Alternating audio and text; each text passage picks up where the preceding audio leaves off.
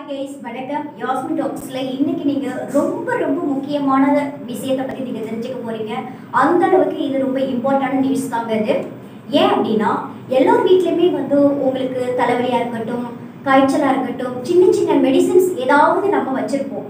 அது போல தான் எல்லார் வீட்லேயுமே வந்து இந்த சர்க்கரை நோயாளிகள் இல்லாத வீடே பார்க்க முடியாது அப்படின்ற அளவுக்கு இருக்குது இப்போ வேர்ல்டு அளவில் கிட்டத்தட்ட நாற்பத்தி ரெண்டு புள்ளி ஒன்பது கோடி மக்கள் வந்து பாதிக்கப்பட்டிருக்காங்க இன்க்ளூடிங் குழந்தைங்க முதற்கொண்டு ஆறு மாத குழந்தைகள் முதற்கொண்டு பாதிக்கப்பட்டிருக்கிறதா நம்மளுக்கு வந்து ஆய்வில் கண்டுபிடிச்சு டபிள்யூஹெச்ஓ சொல்லியிருக்காங்க. இது ரெண்டாயிரத்தி நாற்பதுக்குள்ளார கிட்டத்தட்ட தொண்ணூற்றி ரெண்டு கோடியை தாண்டும் அப்படின்னு எதிர்பார்க்கப்படுகிறது அப்படின்னு டபிள்யூஹெச்ஓ நம்மளுக்கு ரிப்போர்ட் கொடுத்துருக்காங்க. ஸோ அந்த அளவுக்கு சர்க்கரை நோய் வந்து அதிகமாக போயிட்டே இருக்கு இதுக்கு என்ன காரணம் அப்படின்னா நம்மளுடைய உணவு பழக்க வழக்கம் ஸ்ட்ரெஸ்ஸு இதெல்லாம் தான் வந்து நம்மளுடைய சர்க்கரை நோய்க்கு வர்றதுக்கு அதிகமாக காரணமாக இருக்குது. இப்போ இந்த சர்க்கரை நோய்க்கு எல்லாரும் தலைவலி காய்ச்சலுக்கு மருந்து வச்சுக்க மாதிரியே குளுக்கோன் மீட்டர் அப்படின்னு பிளட் டெஸ்ட் பண்றது வந்து எல்லாரும் வீட்லயுமே இருக்க தான் செய்யுது. இந்த குளுக்கோன் மீட்டர்ல டெஸ்ட் பார்க்குறது நல்லதா கெட்டதா அப்படிங்கிறது ஒரு பக்கம் கேள்வியா இருக்கு. அந்த அளவு வந்து சரியா தவறா அப்படிங்கிறது நிறைய பேருக்கு ரொம்பவே குழப்பமா இருக்குது. ஏன் இந்த குழப்பம் வரணும் அப்படிங்கிறது? ஏன்னா அளவு வந்து தவறுதலா காமிச்சிட்டே இருக்கு அப்படின்னு நிறைய பேர் குற்றச்சாட்டு வைக்கிறாங்க. இந்த குளுக்கோன் மீட்டரை யூஸ் பண்ணி நம்ம பிளட் டெஸ்ட் பண்ணும்போது நீங்க செய்யற தவறுகள் என்னென்ன அப்படிங்கிறத பார்க்கலாம் இந்த வீடியோல இது வரைக்கும் சப்ஸ்கிரைப் பண்ணாத ஃப்ரெண்ட்ஸுங்க யாராவது இருந்தீங்கன்னா உடனே சப்ஸ்கிரைப் பண்ணிடுங்க அப்போ தான் நான் கொடுக்குற ஒவ்வொரு வீடியோவும் உங்களை வந்து சேரும். கேஸ் ஒவ்வொரு வீட்லேயும் இந்த குளுக்கோன் மீட்டரில் வச்சு நீங்கள் டெஸ்ட் பண்ணும்போது என்ன ஆகும் அப்படின்னா சிலருக்கு வந்து கரெக்டான அளவு காமிக்கும் சிலருக்கு வந்து தவறுதலான அளவு காமிக்கும். அதுக்கு என்ன காரணம் அப்படின்னா அவங்க ஃபர்ஸ்ட் வந்து கையை நல்லா வாஷ் பண்ணிடணும். நீங்கள் டெஸ்ட் எடுக்கிறதுக்கு முன்னாடி கையை நல்லா வாஷ் பண்ணிடுங்க வாஷ் பண்ணதுக்கு அப்புறம் அந்த கை வந்து ஈரமாக இருக்கக்கூடாது. நல்லா உலர விட்டுருங்க.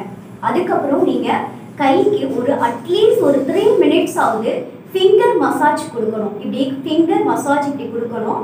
இப்படி இப்படி கொடுத்தீங்க அப்படின்னா இந்த ரத்தமானது சம சீராக உங்களுக்கு கையில் நல்லா பரவும். அப்போ நீங்க வந்து குத்தி ரொம்ப அழுத்திலாம் வந்து நீங்க ரத்தம் எடுக்கணும்னு அவசியம் இருக்காது.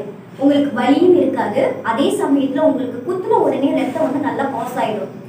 இப்போ இன்னொரு விஷயம் என்னன்னா அதிகமான பேர் வந்து இந்த ஸ்ட்ரிப் வாங்கிட்டு வருவாங்க. இந்த குளுக்கோன் மீட்டர் இன்ஸ்ட்ருமெண்ட்டை விட அந்த செக் பண்ற ஸ்ட்ரிப்பு தான் வந்து காஸ்ட்லின்றதுனால ஒரு டுவெண்ட்டி ஃபைவ் ஸ்ட்ரிப்பே வந்து எயிட் ஹண்ட்ரட் நைன் ஹண்ட்ரட் அப்படி இருக்கும். ஸோ அந்த அளவுக்கு அது காஸ்ட்லியாக இருக்குது. இதனாலேயே என்ன பண்ணுறாங்க அப்படின்னா ஒரு தடவை அந்த ஸ்ட்ரிப் வாங்கிட்டு வந்தாங்க அப்படின்னா அது வந்து மாத கணக்கில் வச்சுக்கிறாங்க. ஸோ கண்டிப்பாக அந்த தப்பு நீங்கள் பண்ணவே பண்ணாதீங்க. எப்போவுமே அந்த ஸ்ட்ரிப்பு பார்த்தீங்கன்னா அதை வந்து மெடிக்கலே செக் பண்ணிகிட்டே வாங்கிட்டு வாங்க. அது எக்ஸ்பிரே ஆயிருக்கா இல்லையா அப்படிங்கிறத பார்த்து ஃபஸ்ட்டு நீங்கள் வாங்கணும். இன்னொன்று நீங்கள் ஒன்ஸ் அதை நீங்கள் ஓப்பன் பண்ணிட்டீங்க அப்படின்னா திரும்ப நீங்கள் அட்லீஸ்ட் வந்து ஒரு த்ரீ மந்த்ஸோ ஃபோர் மந்த்ஸ் வரைக்கும் தான் நீங்கள் அதை வச்சிருக்க முடியும். ஒரு மேக்ஸிமம் அது. இல்லை அப்படின்னா நீங்கள் அது எந்த அளவுக்கு நீங்கள் யூஸ் பண்ணணுமோ அந்த அளவுக்கு நீங்கள் வந்து சீக்கிரமாக யூஸ் பண்ணிடுங்க. இல்லை அப்படின்னா அது வந்து அந்த ஸ்ட்ரிப்பு வந்து சரியான அளவு காமிக்காது. அந்த ஸ்ட்ரிப்பில் வந்து உங்களுக்கு அழுக்கு இருந்தால் கூட அது வந்து உங்களுக்கு சரியான அளவு காமிக்காது. அதுக்கு நீங்கள் என்ன செய்யணும் அப்படின்னா ரொம்ப பாதுகாப்பான இடத்துல ரொம்ப சுத்தமான இடத்துல வைக்கணும். அதுக்காக நீங்கள் ஃப்ரிட்ஜில் வச்சிடக்கூடாது. ஸோ வந்து உங்களுக்கு ஒரு ரூம் டெம்பரேச்சர்லேயே ஒரு பாக்ஸில் போட்டு அதை வந்து அழுக்கு இல்லாத இடத்துல பார்த்து நீங்கள் அந்த ஸ்ட்ரிப் பாக்ஸை நீங்கள் சேவ் பண்ணி வைக்கணும். அப்படி இருந்தால் தான் உங்களுக்கு சரியான ரத்த அளவு காமிக்கும். இன்னொன்று வந்து இந்த ஸ்ட்ரிப்பு போலவே நம்ம யூஸ் பண்ணுற அந்த குளுக்கோன் மீட்டர் அந்த இன்ஸ்ட்ருமெண்ட்டுமே வந்து அழுக்காக இருந்தது அப்படின்னா கண்டிப்பாக உங்களுக்கு சரியான அளவு காமிக்கவே காமிக்காது. அதுவும் நீங்கள் தொடச்சி பத்திரமா ரொம்ப சேஃபாக வச்சுருக்கணும். அப்போ தான் உங்களுக்கு சரியான அளவு காமிக்கும்.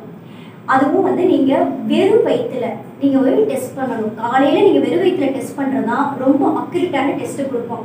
ஏன் அப்படின்னா நீங்கள் வெறும் வயிற்றுல வந்து நிறைய பேர் என்ன தப்பு பண்ணுறாங்க அப்படின்னா வெறும் வயிற்றுல போய் டெஸ்ட் பண்ணும்போது பெரும்பாலான பேர் வந்து தண்ணி குடிக்கிறதே கிடையாது.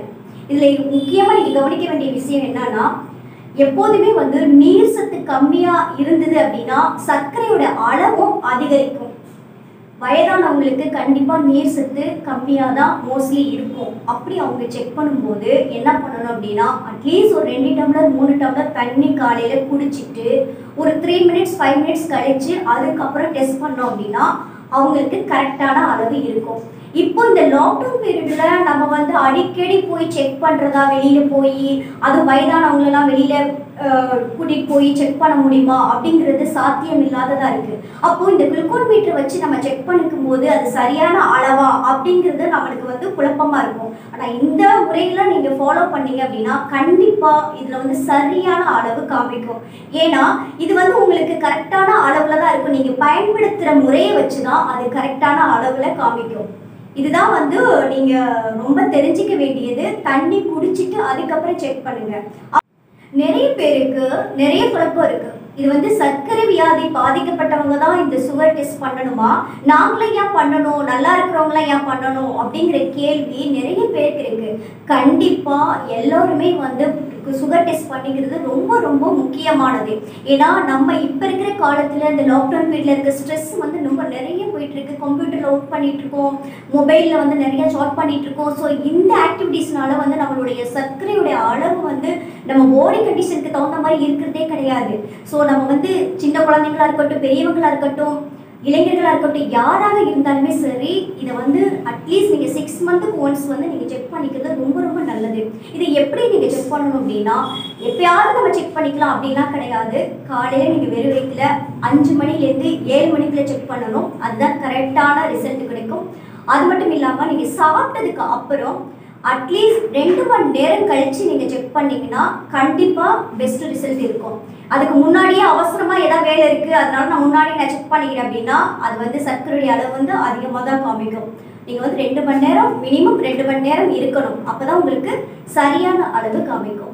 இன்னொன்று வந்து நீங்கள் தண்ணி நான் சொன்னேன் இல்லையா? தண்ணி வந்து நீங்கள் நிறைய குடிச்சிட்டே இருக்கணும். அப்போ தான் சர்க்கரையுடைய அளவு வந்து உங்களுக்கு ஈக்குவலாக இருக்கும். இல்லைன்னா வந்து அதிகமாக தான் காமிக்கும். திடீர்னு ஒரு நாள் அதிகமாக காமிக்கும் ஒரு நாள் வந்து குறைவாக காமிக்கும். ஏன் அப்படின்னா நீங்கள் வந்து நீர்ச்சத்து கம்மியாக இருக்கும்போது தான் அந்த மாதிரி ரிசல்ட் இருக்கும். ஆனால் நீர்ச்சத்து குறைய விடாம பார்த்துக்கோங்க. அதனால் அதுக்கு தகுந்த மாதிரி ஃப்ரூட்ஸ் வெஜிடேபிள்ஸ் இந்த மாதிரிலாம் நிறைய எடுத்துக்கோங்க. இதெல்லாம் எடுத்துக்கும் போது நம்மளுடைய பாடி வந்து நல்லா ஈக்குவலாக அந்த ரத்தத்தை வந்து கரெக்டாக குளுக்கோஸ் லெவலை வந்து கரெக்ட் பண்ணி வச்சுக்கும். கார்போஹைட்ரேட் வந்து கரெக்டாக இருக்கணும். அதுக்கப்புறம் உங்களுடைய நீர்ச்சத்தும் கரெக்டாக இருக்கணும். இதெல்லாம் கரெக்டாக இருந்தால் தான் நம்மளுடைய சர்க்கரை அளவும் கரெக்டாக இருக்கும். ஸோ இதெல்லாம் நீங்கள் ஃபாலோ பண்ணுங்கள் நல்லா சாப்பிட்லாம். ஒன்றும் பிரச்சனையே இல்லை. ஆனால் அதுக்கு தகுந்த அளவுக்கு நம்ம எக்ஸசைஸ் பண்ணணும். நல்லா வாக்கிங் பண்ணணும். இதெல்லாம் இருந்தது அப்படின்னா நம்மளோட சர்க்கரை அளவும் வந்து கரெக்டான விதத்தில் இருக்கும். ஸோ இதை கண்டிப்பாக ஃபாலோ பண்ணலாம். இனி வர காலத்தில் ரெண்டாயிரத்தி நாற்பது ரெண்டாயிரத்தி ஐம்பது இப்படிலாம் போயிட்டு இருக்கும்போது டபிள்யூஹெச்ஓ நிறுவனம் நம்மளுக்கு வந்து ஒரு அதிர்ச்சியே கொடுத்துட்டு இருக்காங்க. ஏன்னா சர்க்கரை வியாதிகள் மூலமா வந்து இறப்பதற்கு அதிகமான பேர் வந்து இருக்கலாம் அப்படின்னு சொல்லி அதிர்ச்சிக்கு மேல் அதிர்ச்சி கொடுத்துட்டு இருக்காங்க இப்போ கொரோனானால நம்ம எத்தனையோ பேரை இழந்துட்டோம். அது மாதிரி சர்க்கரை வியா வியாதினால நிறைய பேர் இழக்கிறதுக்கு வாய்ப்பு இருக்கு அப்படின்னு டபிள்யூஹெச்ஓ சொல்லிட்டு இருக்காங்க ஸோ இதெல்லாம் தடுக்கணும் அப்படின்னா நம்ம ஸ்ட்ரெஸ்லேருந்து ஃபஸ்ட்டு வெளியில் வரணும். இன்னொன்று நம்ம அதிகமாக வாக்கிங் பண்ணணும். நல்ல மியூசிக் கேட்கணும். நல்ல வெஜிடபிள்ஸ் ஃப்ரூட்ஸ்லாம் எடுத்துக்கணும். நல்ல ஃபுட் இருக்கணும். ஃபுட்டு பழக்க வழக்கத்தை கண்டிப்பாக மாற்றிடுங்க அதெல்லாம் மாற்றினா தான் உங்களுடைய வாழ்க்கையும் ரொம்ப சூப்பராக இருக்கும். இதெல்லாம் நான் ஏன் உங்களுக்கு நான் இதை வந்து இது வீடியோ வந்து ப்ரொமோட் பண்ணியிருக்கேன் அப்படின்னா ஸோ என்னோடய லைஃப்பில் இதெல்லாம் வந்து நடந்ததுனால தான் நான் உங்களுக்கு இதை வந்து ப்ரொமோட் பண்ணியிருக்கேன். ஸோ வந்து இதை நீங்கள் ஃபாலோ பண்ணுங்கள் நான் ஃபாலோ பண்ணிட்டு இருக்கனால தான் நான் அதை உங்களுக்கு நான் சொல்லியிருக்கேன். ஸோ இது வந்து டெஃபினெட்லி உங்களுக்கு வந்து ரொம்ப ரிசல்ட் நல்ல ரிசல்ட் கிடைக்கும். இதுபடி நீங்கள் ஃபாலோ பண்ணி கேஸ் பார்த்துருப்பீங்க.